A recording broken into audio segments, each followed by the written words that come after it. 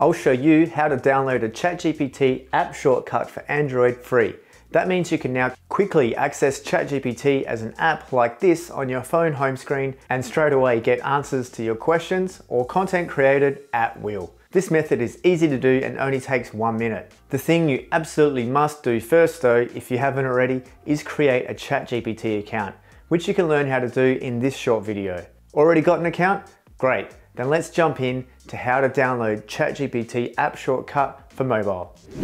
For this method, you'll need to be logged into ChatGPT. So go ahead and open a browser. We'll start off with Chrome and then I'll show you how to do this process using Firefox and the native Samsung Internet Web Browser. Type in chat.openai.com, head over to that website. Now you need to log in using your account you've already created. And if you haven't already done that, as I said before, watch that video to learn how uh, by pressing sign up. So we'll go ahead and log in. And then we'll put in our email address and select I'm not a robot. Go ahead and complete the verification puzzle and then tap continue. Then go ahead and put in your password and tap continue. As you can see, we're now logged into ChatGPT. Now to download a ChatGPT app shortcut for Android phone free, go ahead and just tap the three dots at the top right. And then it's as simple as tapping add to home screen. Give it the name ChatGPT and you can see we've got the logo that's going to be used for the app shortcut. So tap add and we've gotten a message there saying shortcut added to home screen. So go back home and then head over to your home apps and boom, there you go. ChatGPT is in there as a shortcut app ready for you to use at any time. So to test it out, what we'll do is we'll close Chrome for now, and then we'll just go straight into, okay, I want to find out a ChatGPT request. So away we go, tap the icon, It's already logged in for this session, so perhaps every time you turn your phone off and on, you might need to log in again so that it comes up straight away when you tap the icon. And here we are ready to put in an input.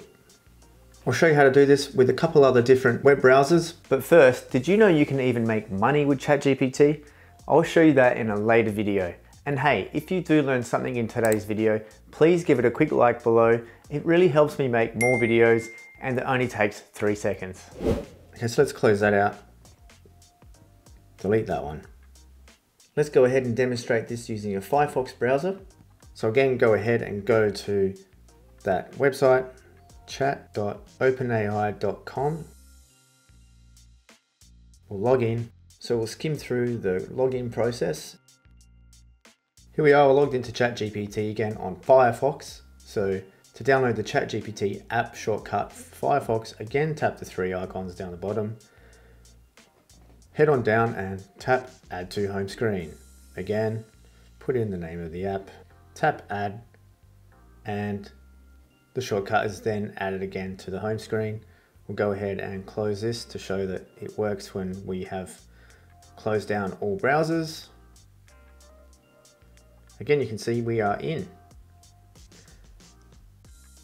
Finally, for the Samsung Internet Browser, again, we're at chat.openai.com. We'll go to login, and again, we'll skim through the logins. Now for the Samsung Internet Web Browser, all we need to do is tap the three lines down the bottom, tap Add Page To, and then select Home Screen. Tap Add. We've added to the home screen, and there it is again. When we're using the ChatGPT shortcut via the Samsung web browser, we need to verify we're human, so we'll just skip through that bit. And again, we're inside ChatGPT via an app shortcut. Now that you have a ChatGPT account and ChatGPT Android app shortcut downloaded, watch this video next to learn what ChatGPT can do for you. You can even use it to make money. So click that and I'll see you there.